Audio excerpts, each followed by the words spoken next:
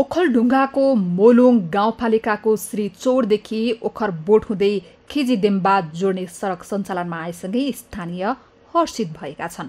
यो सडक खुलेसँगै खिजीदिम्बाका नागरिकलाई जिल्ला सदरमुकाम आवाज जावत गर्न छिमेकी जिल्ला घुम्नुपर्ने बाध्यता अन्त्य भएको छ।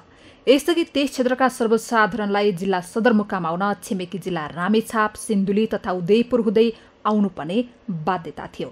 लामो समयको प्रयासपछि ओखलढुङ्गाको पश्चिमी गाउँपालिकाहरू समेत सदरमुकामसँग जोडिएसँगै स्थानीयवासी हर्षित भएका छन्। यो पहिला अब एकदम विकट हो। अब यहाँ चाहिँ ओखलडुङ्गा जानदेखि लिएर यो सिरचौर जानको लागि चाहिँ अत्यन्त समस्या थियो। धेरै घुम्ती बाटोहरू आउनु पर्थ्यो जङ्गलको बाटो हिँड्नु पर्थ्यो।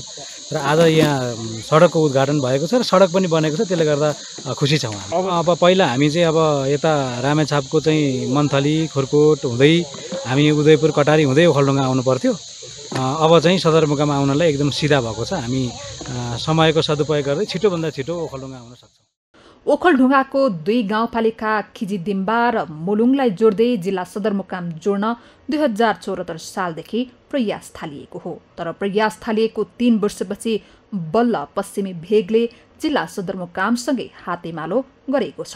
यस सडक खण्डले लेखली र बेसीका फाँटहरू जोड्ने भएकाले यो सडक खण्ड समृद्धिको आधारशिला समेत भएको गाउँपालिकाको दावी छ।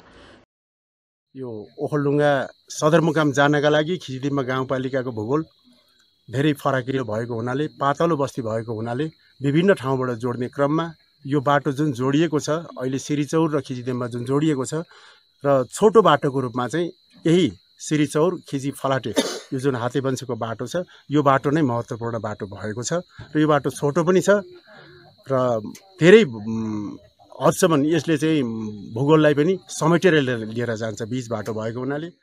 सडक खण्ड सञ्चालनमा आएसँगै खिजी दिम्बाबाट मोलुङ गाउँपालिकाको केन्द्र हुँदै जिल्ला सदरमुकाम पाँच घण्टामै आइपुगिनेछ। यसअघि हिँडेर जाँदा दुई दिन लाग्ने र सवारी साधनमा छिमेकी जिल्ला घुम्नुपर्ने बाध्यता थियो। अब भने यस सडकले स्थानीयको वर्षौँदेखिको बाध्यता अन्त्य भएको विघटित सङ्घीय प्रतिनिधि सभा सदस्य यज्ञराज सुनार बताउँछन्।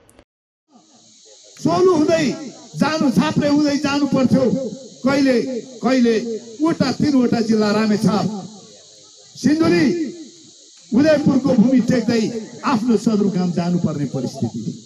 अब आफ्नै ओखलडुङ्गाको भूमि हुँदै जान पाउने पहिलो सडक हो यो खिचडेम्बाका लागि र मोलुको माथिल्लो निर्वाचन क्षेत्र पूर्वाधार विकासका कार्यक्रम अन्तर्गत पटक पटकको एक करोड एक लाख रुपैयाँ तथा गाउँपालिकाको चालिस लाख रुपैयाँको बजेटबाट सडक खुलाइएको हो।